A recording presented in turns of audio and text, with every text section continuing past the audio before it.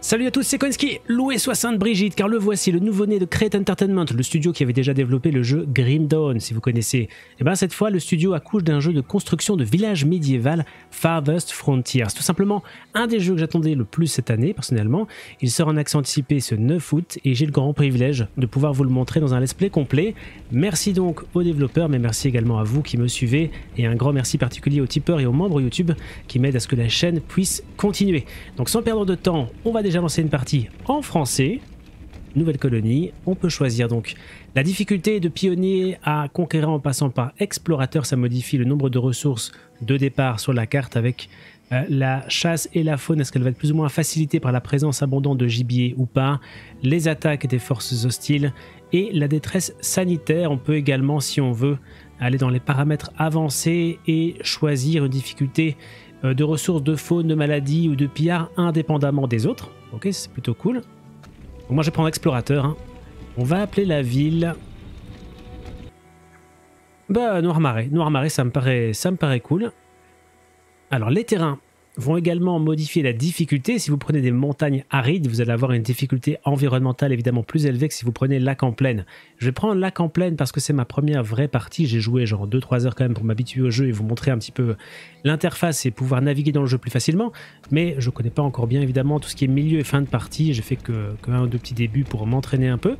Voilà, la taille de la carte, on va prendre une grande carte, pourquoi pas. Et on va pas jouer en mode pacifiste, on va jouer en mode normal. C'est parti. Life can be harsh everywhere. But in the old world, there was no hope of it ever improving. When our crops failed, the ruling class would still collect the same share, leaving our children to starve. And if we had any coin to our name, the taxman would appear, demanding it for the crown nobles hid behind the safety of their walls and did nothing when raiders pillaged the outskirts of the city. And so, some of us decided that it was time to leave, that we'd rather take our chances in the wilderness, seeking the promise of a new land, than starve to death in our homeland. The journey wasn't easy. We lost many along the way. This wild, unsettled land offers us the hope of a new start as the masters of our own destiny.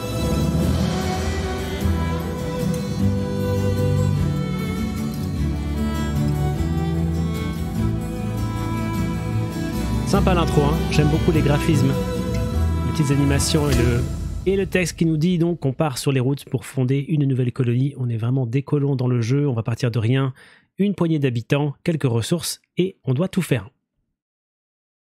Alors autant déjà vous le dire pendant que ça charge, je suis très enthousiaste par rapport à ce que j'ai pu voir du jeu. Le jeu il a l'air de chercher la complexité, la profondeur, également une certaine originalité dans les différentes mécaniques de jeu. Chaque bâtiment peut parfois avoir vraiment des fonctionnalités qui lui sont propres.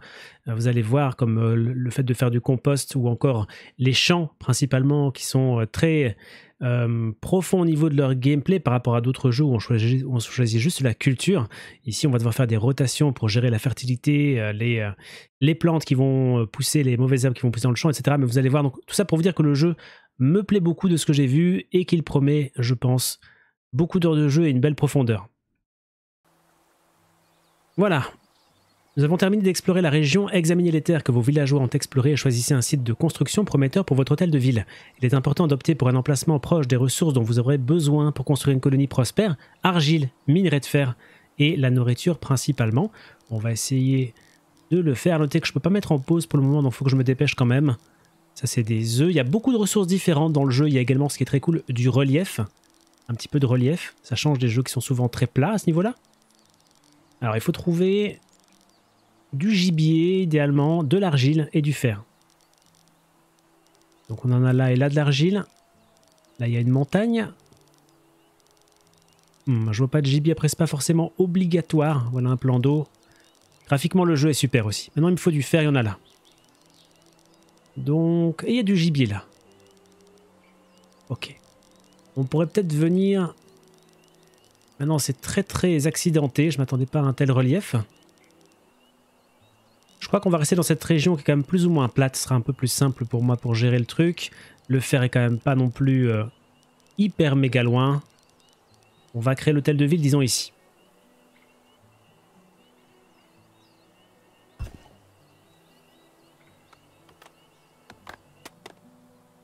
Voilà, alors allons voir un petit peu les jobs et les paysans qu'on a.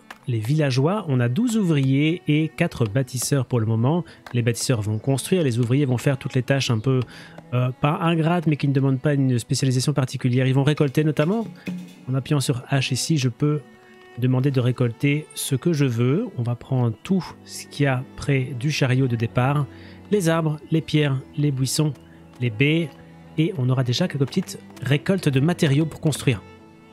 Assez de logements, et il faudra également du bois brûlé, c'est ceci. Pour l'hiver, là vous avez la roue euh, des saisons, on va dire. On commence à la fin de l'hiver, début du printemps. Premier objectif, terminer l'hôtel de ville. Vous voyez le site de construction, on va accélérer un petit peu le temps. Voilà, ils vont s'arranger pour construire ce magnifique hôtel de ville. J'aime bien la manière dont les bâtiments se construisent. C'est devenu la norme dans ce type de jeu maintenant. Il n'y a plus des bâtiments qui passent de 0 à 1 sans avoir des petites euh, étapes intermédiaires, mais elles sont très jolies dans le jeu. il y a un orage. Donc ils vont couper du bois en faisant l'ordre que j'ai demandé, hein, de, de, dégager tout simplement tout ce qu'il y a autour. Alors j'aime bien aussi les environnements dans le jeu. La végétation fait réaliste. Euh, c'est pas des longues étendues d'herbe euh, qui restent en milieu ouvert comme ça, non. La forêt a, repris ses, pris ses droits ici, c'est normal, elle est là depuis le début. Il y a des fourrés, il y a des arbrisseaux, il y a des, herbes hautes, c'est très très luxuriant, c'est très chouette. Très chouette à ce niveau-là. Alors du coup, maintenant qu'on a établi l'hôtel de ville, la carte est redevenue cachée. Je sais qu'il y a de l'eau là-bas, on l'avait vu. On peut, si on veut, explorer un petit peu en mettant quelques drapeaux, déjà, pour que on aille dévoiler ici, éventuellement, les ressources que j'avais vues par là, le fer, l'argile et les ressources à chasser. Ok, alors l'hôtel de ville est terminé. Je vais faire une route tout autour. Un chemin. Comme ceci. regardez les chemins comme c'est cool, on peut... C'est pas du, des angles droits absolument. Le jeu va créer des courbes en fonction des choses que vous lui demandez quoi.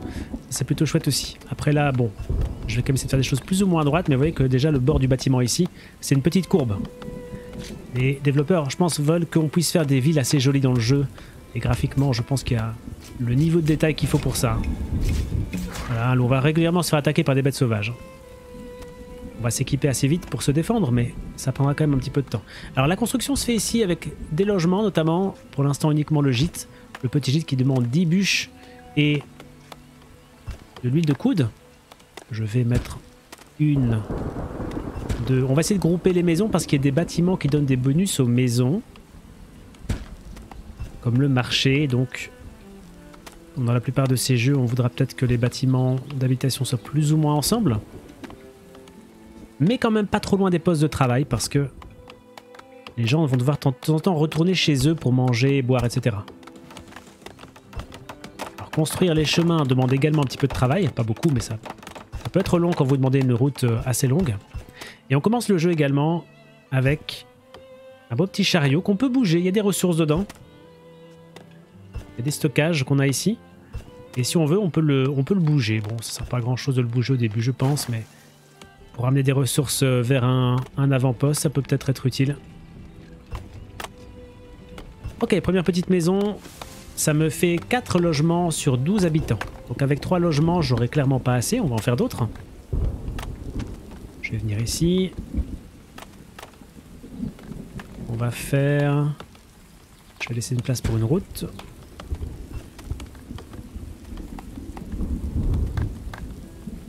Peut-être partir de là. Voilà.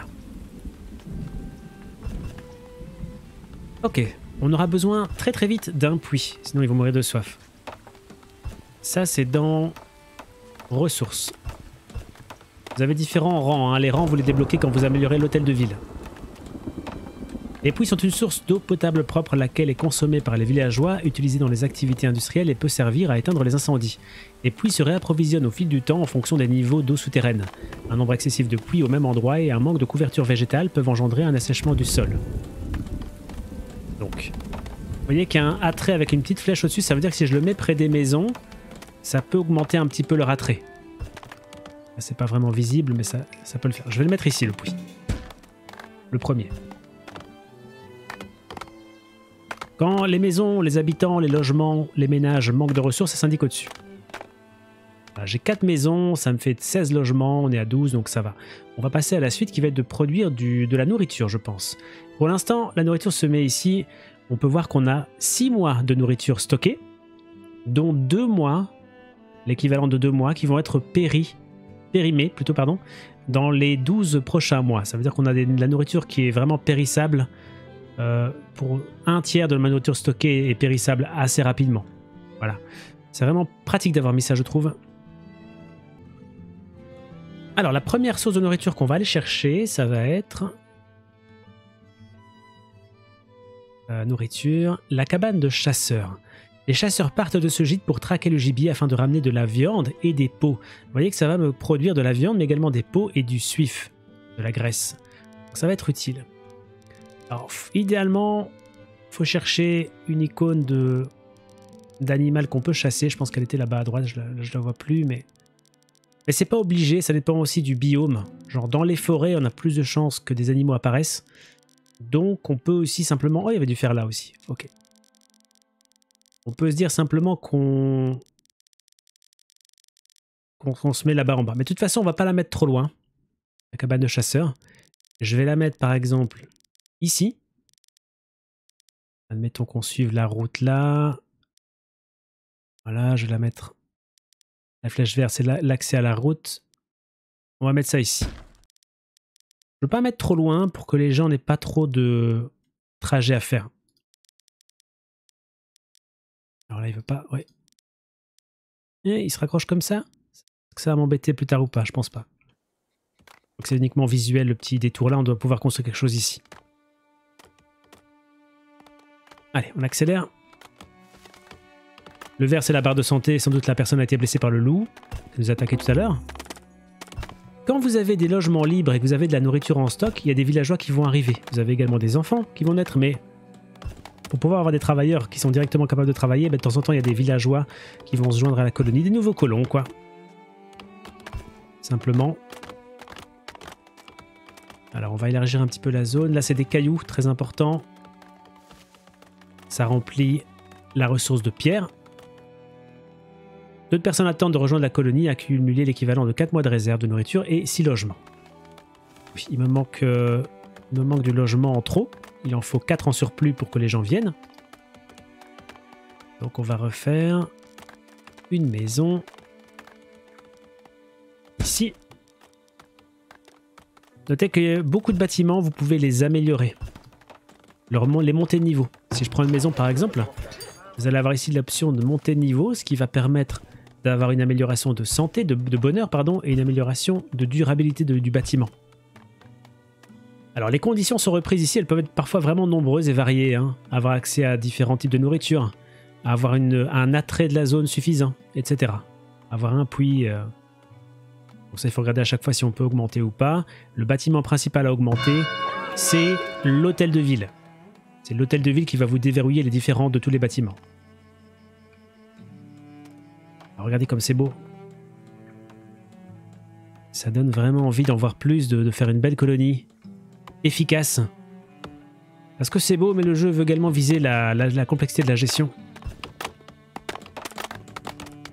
Je suis vraiment super enthousiaste par rapport au jeu pour le moment. Les premières heures dessus ont été vraiment, vraiment positives. Alors, la cabine de chasseur. Vous avez un travailleur qui s'est mis automatiquement, c'est Gemma. Pour l'instant, elle va s'équiper en armes, apparemment. Elle est là. Ça, c'est tout ce qu'on peut produire. De la viande, des peaux, du suif, d'accord? Et là, c'est ce que le bâtiment stocke. Parce que les bâtiments, souvent, même les bâtiments de travail, vont stocker bah, de l'eau, de la nourriture pour le travailleur, euh, du bois de chauffage pour l'hiver, pour pouvoir travailler au chaud, etc. Et on a les besoins qui se mettent ici. Alors, on va déterminer la zone de travail. Et là, vous allez voir que pour chaque type de bâtiment, des fois, il y a des petites mécaniques de jeu vraiment propres. Ici, par exemple, il faut déterminer les jours euh, de réapparition de de, de gibier. Je pense que c'est ça que ça veut dire, avec différents paramètres qui vont influencer. Le biome, c'est quoi c'est quoi le sol, c'est quoi la végétation herbacée, etc. Les arbres, est-ce qu'on a beaucoup d'arbres? L'overlap, est-ce qu'on a un overlap avec une autre zone qui est exploitée? La présence d'eau, c'est que de l'eau, ben ça ça va pas servir à grand chose. Il, faut quand même un petit peu d'eau apparemment parce qu'à mon avis le gibier vient s'abreuver. Donc il y a différents facteurs positifs ou négatifs. Le terrain développé, si vous faites ça en ville, ben, vous allez avoir un gros malus d'apparition de, euh, de, de, bêtes. Et puis là, vous avez des gros bonus quand vous avez des sources de gibier. Il y a également des zones avec des pièges, des zones où on peut mettre des pièges. Je ne sais pas exactement comment ça apparaît. Donc vous venez ici, vous regardez, ben, c'est quoi le qui me donne le total de jours le plus petit? Et je vois que finalement, pas loin de l'endroit où je suis, je suis pas mal. En fait, je suis vraiment pas mal. Si je me mets ici, j'ai 10 jours. Donc j'ai l'impression que c'est bien. Et donc je vais cliquer là plus, on est vraiment à côté du poste de travail. J'imagine qu'on verra de temps en temps des, des bestiaux s'abreuver ici. On verra. Ok. Alors, la cabane du chasseur, donc, ou de la chasseuse. Elle viendra ici. Euh, s'occuper de dépecer les animaux, etc. Alors, manque de pierre pour le puits, mais il est quasiment terminé. Je vais accélérer.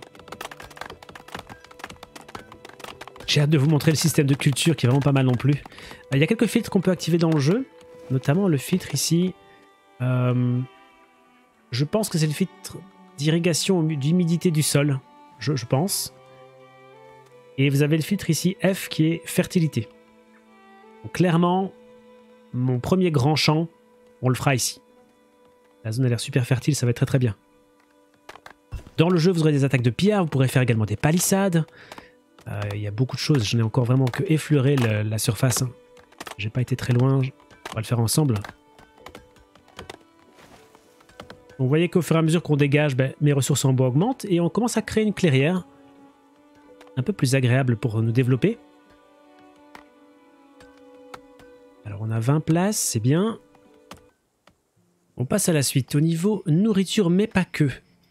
Nous avons en nourriture le cueilleur. Le cueilleur va ramasser, je vais vous le dire après, on va d'abord le mettre, on va le mettre ici.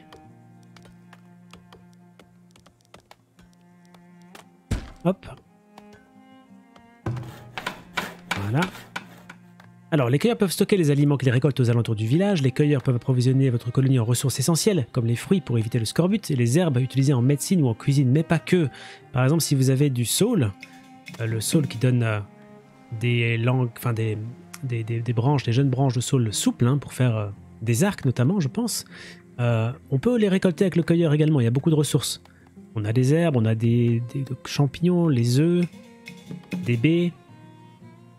On va lui demander d'aller récolter par ici, mais je vais également demander d'aller inspecter les bords de l'eau parce que souvent, là qu'on va trouver le saule qui a besoin de beaucoup d'eau.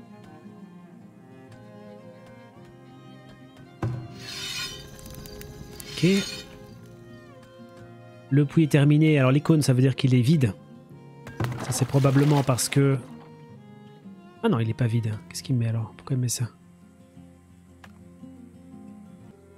Si, c'est asséché. Donc il a, on a un certain stock, mais il n'y en a plus qui va venir pour le moment. Vous avez différents bonus pour le bâtiment. Bonus d'eau du terrain, 40%, bonus d'eau saisonnier, malus de pluie à proximité, donc on a un puits qui fonctionne à 48%, c'était peut-être pas le meilleur endroit, mais en même temps, c'est vrai que là le terrain est plutôt sec. J'aurais pu en mettre un plus par là, mais c'est plus loin. Moi je préfère quand même avoir un puits dans le centre du village. Ça me paraît mieux. Ok, donc pour la nourriture, on est déjà un petit peu lancé. Ça va pas être suffisant, mais on est un peu lancé. Il était temps d'ailleurs. Donc je vais m'occuper du bois de chauffage parce qu'on est déjà en été. Ressources. Débit de bois à brûler. Ok. Donc ce bois à brûler, il va servir pour mes activités également industrielles, que je vais peut-être mettre de ce côté-là parce qu'on a du fer par là. L'argile est par là aussi, donc je pense qu'on va monter vers le haut pour faire euh, ce genre de choses. Je vais le mettre ici aligné sur l'autre bâtiment. Parfait. Il y a moyen de passer des heures à lire euh, les les infos, tous les, petits tips pour voir un petit peu comment tout fonctionne et essayer d'être le plus euh, efficace possible. Alors je vais régler la cueillette. Parce que là, on n'a pas réglé, on a choisi l'endroit de base, mais on voit que on a beaucoup d'œufs à proximité. Les œufs, c'est quoi? C'est les nichés, hein, des oiseaux, hein, au sol ou dans les branches d'arbres. Les baies. Non, moi, je veux d'autres choses. On va aller par ici. Et là, on voit qu'on a quatre éléments, avec beaucoup de... Il y a des champignons qui s'ajoutent notamment. On va, essayer d'aller pas trop loin, on va prendre tout ça. Ce que je veux principalement, c'est de la nourriture à ce stade-ci. Pour le sol, on verra plus tard.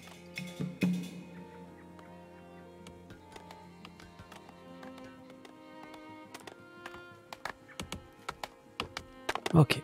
On va voir un petit peu cette cabane de d'herbes et de champignons.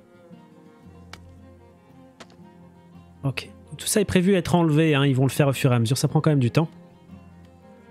Et du coup, ce qui est bien, c'est qu'il faut pardonner des ordres tout le temps. Vous définissez une grande zone où on va récolter toutes les ressources, tout ce qui traîne, nettoyer le sol en fait, et après on est tranquille.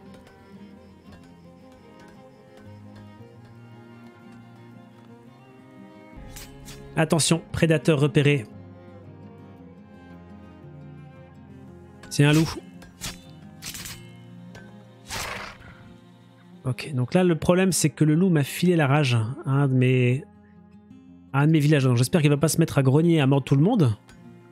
En tout cas, il est fort probable qu'il ne survive pas parce que c'est une maladie mortelle. Tant pis. Faudra... On va faire avec un au moins, mais on en récupère de temps en temps, donc c'est pas si grave. Alors, notre petit bâtiment ici, de débit de bois à brûler. Rataille travail. Matériaux requis, des bûches. Donc elle va aller toute seule chercher des bûches dans les stockages de bûches et ça va très bien se passer. Donc on va lui faire un premier stockage pour éviter les temps de déplacement trop longs. Comment est-ce que ça marche? Comment est-ce qu'on peut voir si un bâtiment est efficace dans le jeu? C'est vraiment bien foutu, je vais vous montrer, mais d'abord je vais installer le stockage. La resserre, c'est le stockage le plus simple. On y met les matériaux de construction de base, ce genre de choses. On peut le mettre de manière un peu centrale dans la ville, je pense que c'est peut-être bien que ce soit pas trop trop loin. Genre, je vais le mettre ici à côté.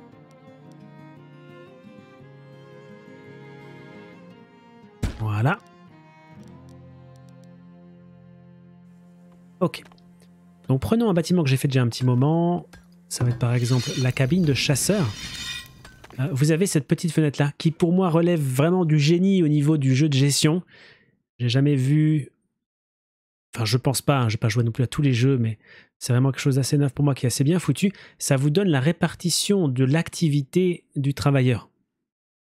Principalement, il travaille. À 95%, son temps, c'est travailler. Ça, c'est top, évidemment. Un petit peu, c'est couvrir ses besoins essentiels.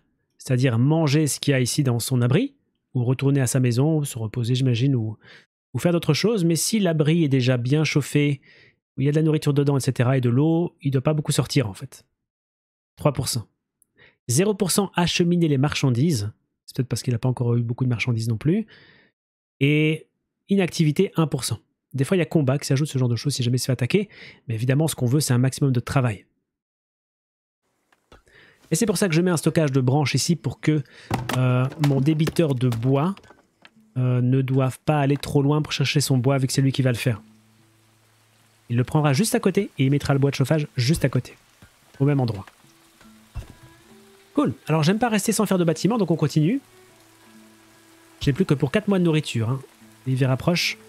Euh, on va aller faire, puisqu'on a une étendue d'eau juste à côté, une cabane de pêcheurs. On va venir mettre par là. Vous voyez la présence de zones où on peut pêcher. Des fois, vous avez un petit, une petite icône de poisson. Ça veut dire qu'il y en a plus. Ça rapporte plus de pourcentage de, ressources, d'efficacité. Alors, je suis pas obligé de la mettre près de l'eau. Il va marcher pour y aller, le pêcheur. C'est pas trop dérangeant. On va mettre ça. Je dirais... J'ai pas envie de péter les, les ressources qui sont là.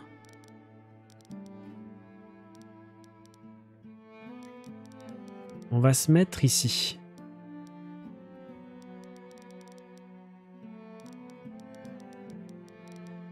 Comme ceci. Ça me paraît bien.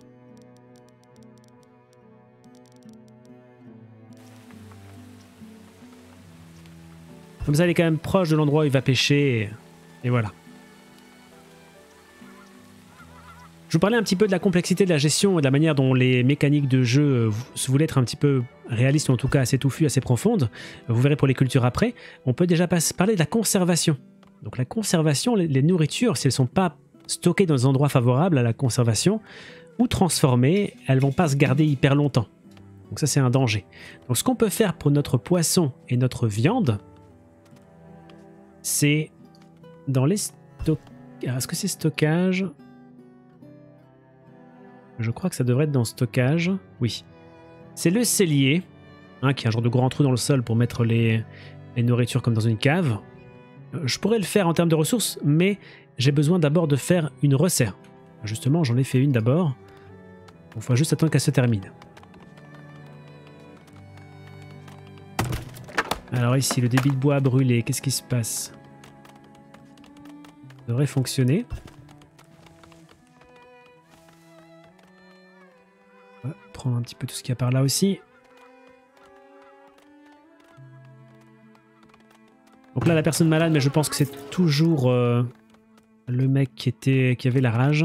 Ouais. Il va pas tenir le coup longtemps. Nouveau prédateur. Alors on peut faire de la garde dans le jeu, hein, mais ça coûte très cher en entretien en or, donc pour l'instant je peux pas. Va falloir attendre. Ouf. Il va en tuer un. Peut-être. Non, il s'est enfui chez lui. Ok.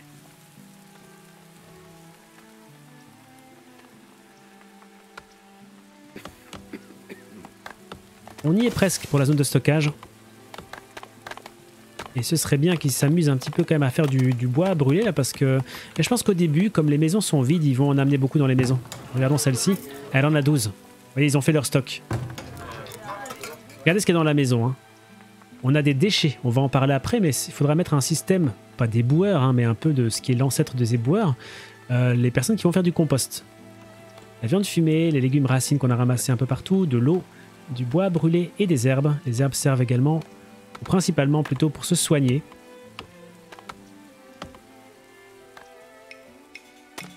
Allez. L'hiver est à nos portes les amis, faut pas traîner.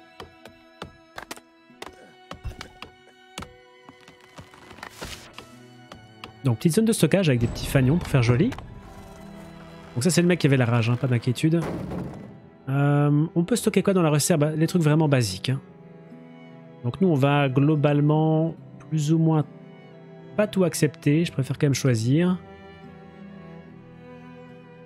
C'est-à-dire qu'ici, on va mettre les produits du bois. Le bois à brûler, le bois brut, les planches plus tard. Et briques et tonneaux, on va garder pour d'autres stockages. On peut stocker 150 choses. Les stockages sont gros dans le jeu apparemment. Et ils peuvent s'améliorer. Voilà, donc ça débite. Ça va aller. Je pense même qu'on peut mettre deux personnes s'il faut. On va en mettre deux pour accélérer un petit peu. Parce que le blizzard approche. Oula. La température chute à l'approche d'une violente tempête hivernale. Avec un peu de chance, les réserves en bois brûlées de votre colonie seront suffisantes, le froid exigeant d'en brûler de plus grandes quantités pour se chauffer. Les chutes de neige lourdes peuvent endommager les bâtiments. Ok.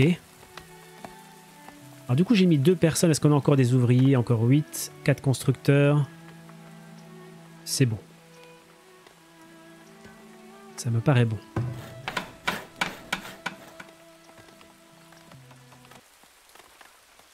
La cabane de pêche est terminée. On va aller voir la zone à récolter, parce là, il n'y a rien, évidemment.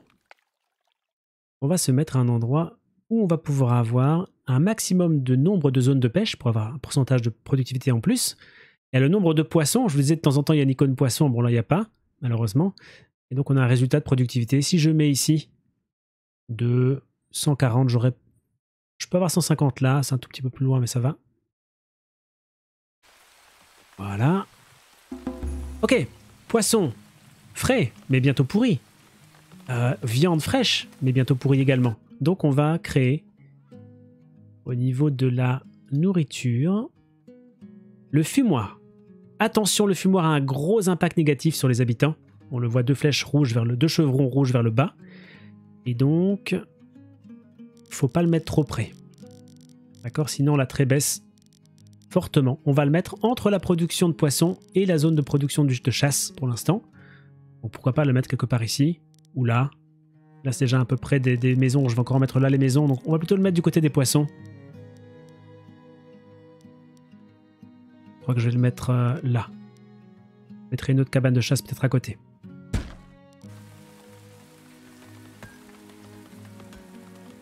Ok, et peut-être pour compléter ça, on fera un cellier bientôt, mais on a vu pour ça, il faut monter au niveau 2 de colonie. Et pour le rang suivant, il faut 8 gîtes, 8 maisons, un marché et la population suffisante. Ok. Alors les maisons, on est à 14 sur 20, ça va encore. Je vais regarder pour le marché. Le marché qui est un bâtiment assez important parce qu'il va permettre de récolter de l'or. Oui, bah, j'ai quasiment plus de nourriture, ça devrait aller quand même, on a mis quand même beaucoup de choses.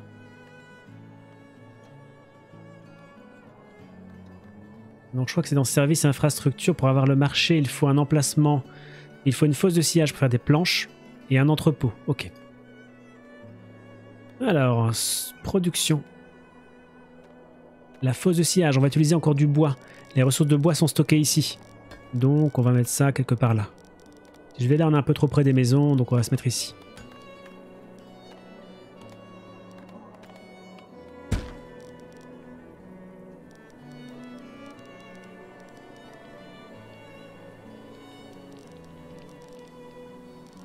Ça tombe sec, hein, là. Ouh.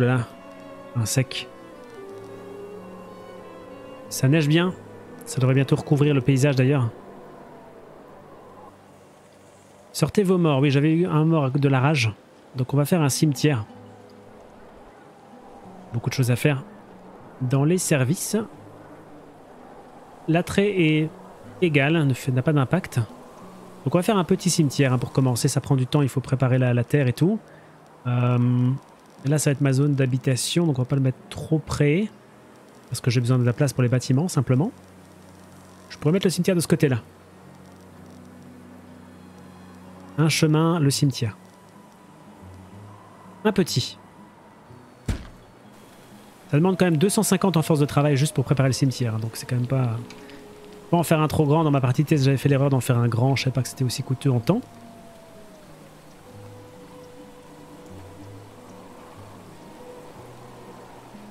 Mis à part le blizzard, on est bien. Alors, vous voyez le relief, comment c'est...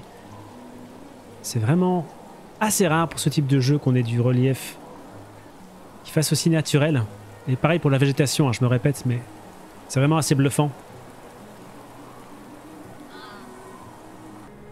Et un villageois est mort d'exposition aux éléments. Normalement, ils ont des manteaux, mais bon, là, il y avait un froid vraiment particulièrement fort. Hein. C'était exceptionnel. La pauvre Camille n'y a pas survécu. Mordeste d'exposition au froid. Ça tombe bien, on termine le cimetière. Alors, les ressources, on a du bois, on a du bois à brûler, on a des planches, bientôt, dès que le bâtiment sera terminé. On a de la pierre, le reste on verra après. Bientôt on aura de l'or quand j'aurai le marché. Alors là, la cabane de cueilleur. Je pense qu'elle Camille devait être la cueilleuse, j'imagine. On va mettre 4A à la place.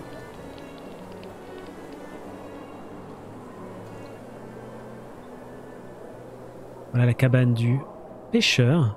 On voit la lumière qui filtre. C'est vraiment vraiment chouette. La fumée. Il va y avoir du bois de chauffage. J'imagine que les maisons, il n'y a pas de bois de chauffage, du coup il n'y a pas de fumée qui sort. Là, il n'y en avait pas, par exemple. Hein. C'est ça qui l'a tué, sans doute, d'ailleurs. Alors, j'en ai quand même, hein. Faut juste qu'il l'apporte.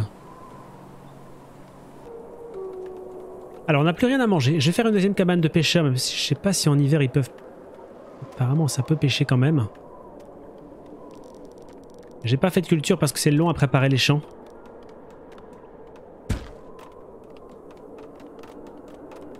Mais pour l'année prochaine, en tout cas, on l'année qui vient, l'année d'après, on préparera les champs. Je suis assez étonné qu'on ait, ait déjà brûlé toute nos nourritures. Hein. C'est très embêtant. Boum, voilà le cimetière. Tout propre.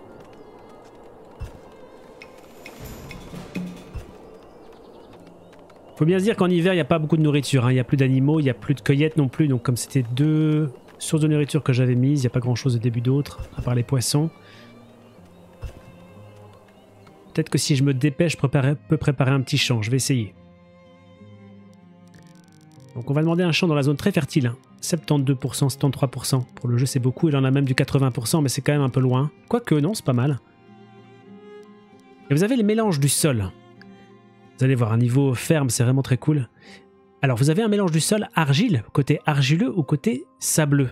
Argileux, c'est quoi? C'est les sols lourds, les sols qui vont retenir l'eau et qui vont donc plus facilement nourrir en eau les plantes, mais peut-être aussi euh, noyer les plantes en cas de forte pluie de plantes qui supportent pas trop l'humidité. Et puis le côté sableux, c'est le côté perméable. L'eau va s'écouler, va partir, s'évacuer, et donc vous avez un sol plus sec pour un autre type de plante.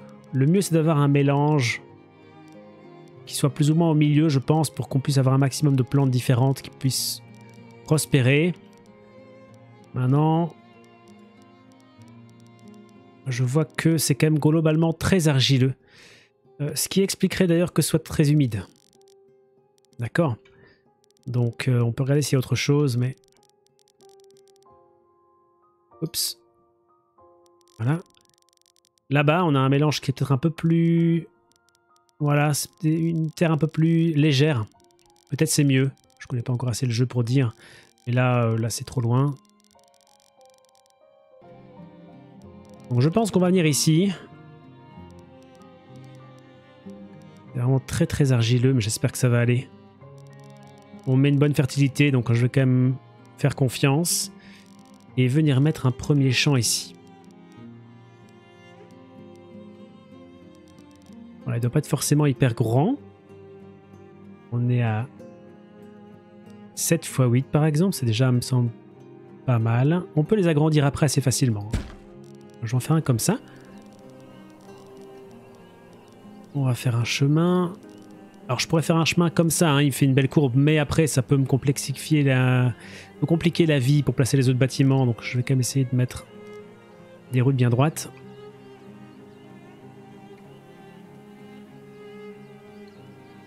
Ils vont devoir le préparer, ça demande quand même du temps. hein. On va les laisser faire. Ok, le séchoir. Regardez ça comment les bâtiments sont beaux. hein. Le moindre séchoir, regardez ça les détails. Les pierres, le ciment, les, petits morceaux de bois qui dépassent du, du toit, les tuiles en bois. Vraiment, vraiment chouette. Voilà. Donc, euh, on va avoir quelqu'un qui va s'occuper, Jaralt, Garalt, de fumer le poisson et la viande. On peut choisir de fumer plus de viande que de poisson, le taux de production ici, ou un pour un. Moi, peu importe, je veux tout fumer de toute façon ici.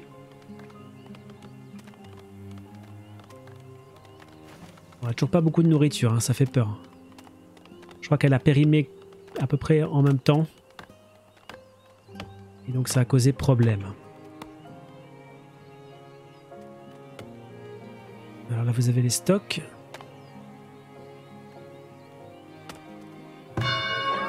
Il y a plein de trucs dans, tous les coins, hein, je vous montrerai au fur et à mesure.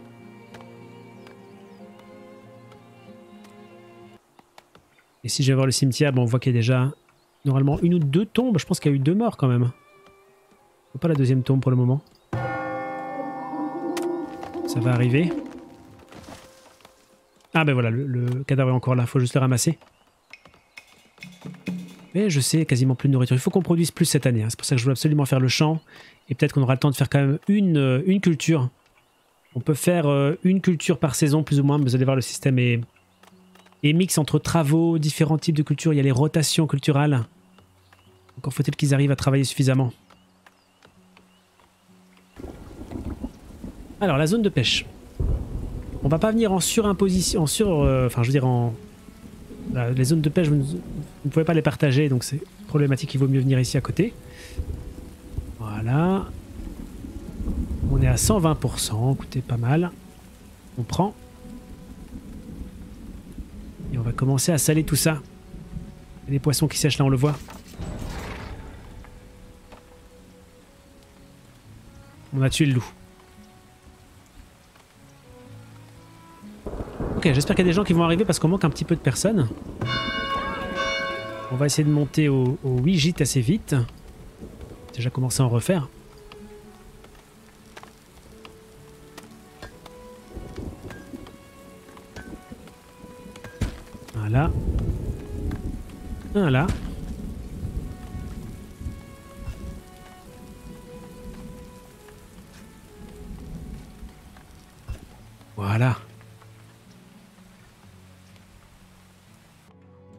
Bouger la zone de chasseur parce que j'ai fait maintenant différentes choses, donc j'imagine que ça produit un peu moins. Je sais pas si on peut voir là le nombre de jours avant qu'un animal réapparaisse, mais on va, on va changer. 12. On voit tous les objets produits au cours de l'année. On a quand même produit pas mal de viande. Assez peu de peau. Et on voit qu'on a quand même été très efficace vu qu'on a majoritairement produit.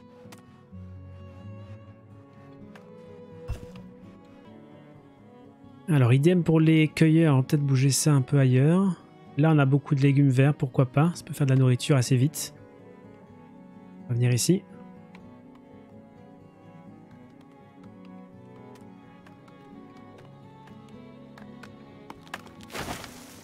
Ça bosse, mais il faut d'abord dégager les arbres, les herbes, préparer le champ.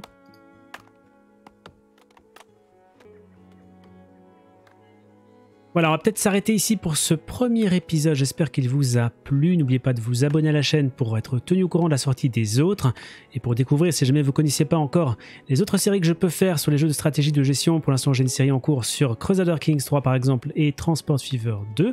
Allez jetez peut-être un petit coup d'œil si jamais le cœur vous en dit. Laissez un petit like sur la vidéo pour me donner un coup de main également si elle vous a plu.